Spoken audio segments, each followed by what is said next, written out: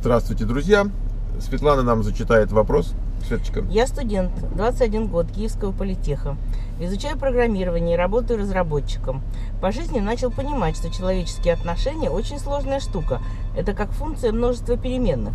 В последнее время стал остро замечать явление неуважения людей друг к другу у себя в окружении. А в чем проблема, понять не могу. Вопрос мой таков. Почему люди не уважают друг друга? Заранее благодарен за ответ. Ну что, Света, начнешь? Трудно вообще ожидать уважения в стране, где нет уважения, как бы оно не воспитывается с самого детства.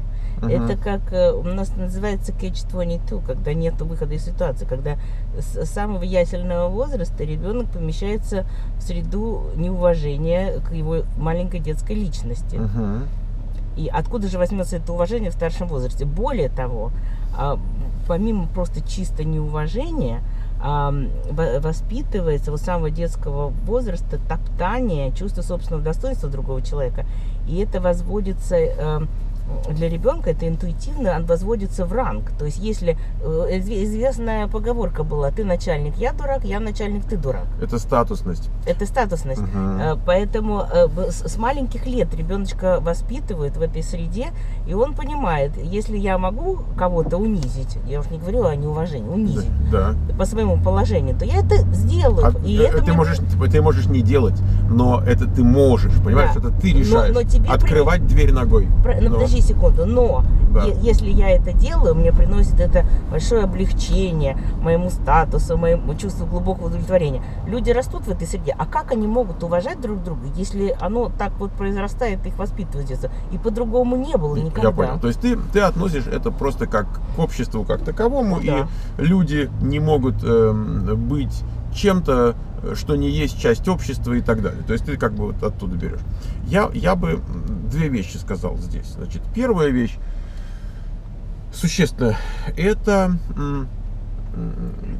индивидуальный уровень чувствительности к несправедливости, эм, уровень обидчивости и так далее. Мы знаем, что есть люди более обидчивые, есть люди менее обидчивые, есть такие, говорят, что там плюнь в глаза, там божья роса и так далее.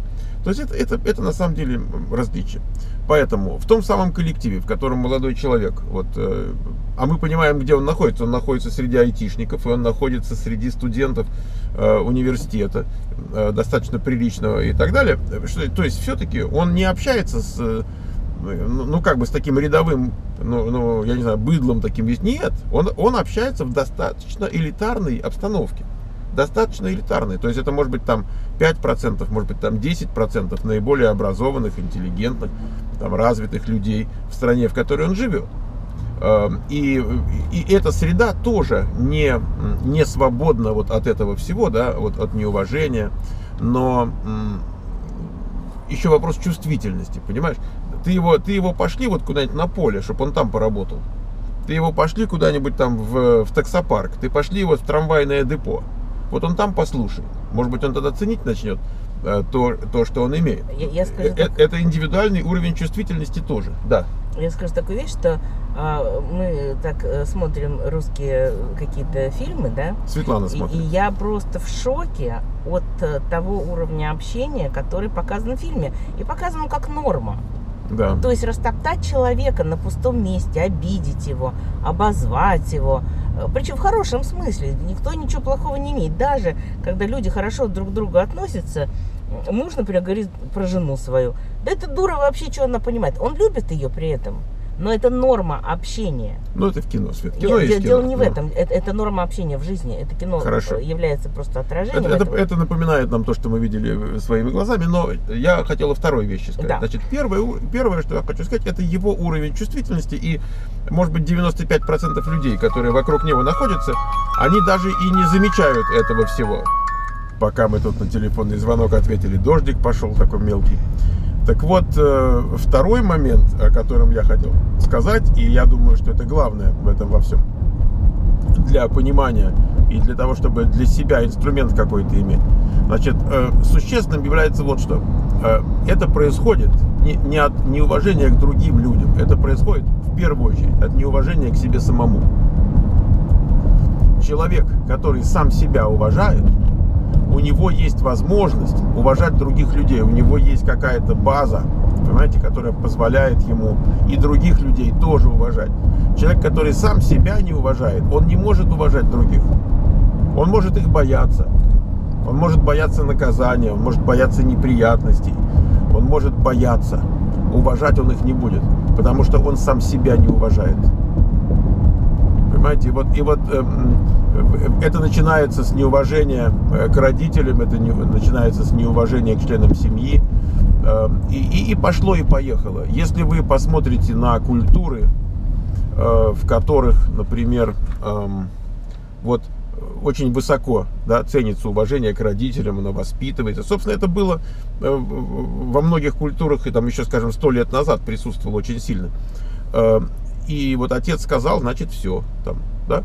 Э, ты не можешь там хамить маме, ты не можешь э, старшему брату там э, что-то такое. И вот в, эти, в этих культурах э, отношения между людьми более уважительны и, и даже на вот уровне за пределами семьи, за пределами иерархии, которая вот такая микромира, в котором он живет. Они более уважительны, они более гостеприимны. Понимаете, там цел, целый мир с этим связан какой-то. Вы можете сказать, они тоже вот бывают э, и ненавидят там, и кровная месть там, или еще что-то, я не знаю, там что. Конечно, конечно, это, это отдельно к этому добавляется. То есть мы не можем только уважать и любить, потому что бывают конфликты, и в конфликте мы значит, должны как-то защищать себя там, и так далее. Это, это, это присутствует.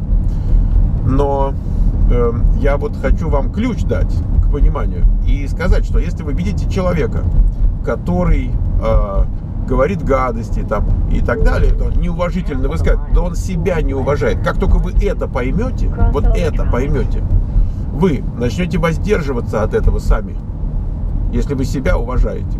Вы перестанете иметь дело с этими людьми, потому что если они сами себя не уважают, а кто их уважает? Понимаете, это целый мир, целая, целая система наслоений вот, вот на это отсутствие самоуважения. Эм, это начинается, когда там я не знаю, ну вот там про евреев, про мусульман, про там даже, я не знаю, кого там они, э, много объектов разных, может быть, кавказцев, а, там, цыган, я, я не знаю, честно, э, чукча, там, еще кто-то. Понимаете, я, я, я в свое время могу сказать, что я тоже не был свободен вот от этого. И, и у меня тоже была масса предрассудков, и система воспитывала, и Потом еще знаете, что вот родители наши, наше поколение наших родителей, люди, которые пережили войну, э, отечественную, гражданскую, там, эвакуации там, и так далее, бабушки, дедушки, э, они имели много фобий. Очень много фобий. Они, они ненавидели вот это за, за что-то, и вот, и вот то за что-то. И я, я даже не хочу перечислять, потому что я не хочу вам настроение портить. Так вот, э, и, и мы тоже выросли в этом во всем. Поэтому я сейчас намного-намного свободнее. И я поэтому как могу спокойно об этом говорить. Я не хочу сказать, что полностью свободен. Это, это не так.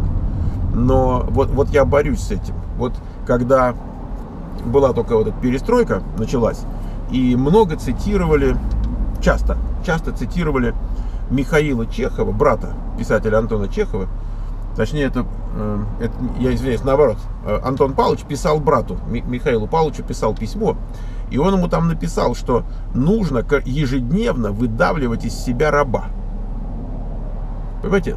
Вот в том обществе, в котором мы живем сейчас, вот, допустим, в Соединенных Штатах, я, я так обычно говорю, что здесь выдавливать не надо, просто потому что оно само по себе из тебя вытекает за, за отсутствием вдавливания в тебя раба. И это правда. Это правда. Когда ты живешь среди свободных людей, в тебя никто не вдавливает этого раба.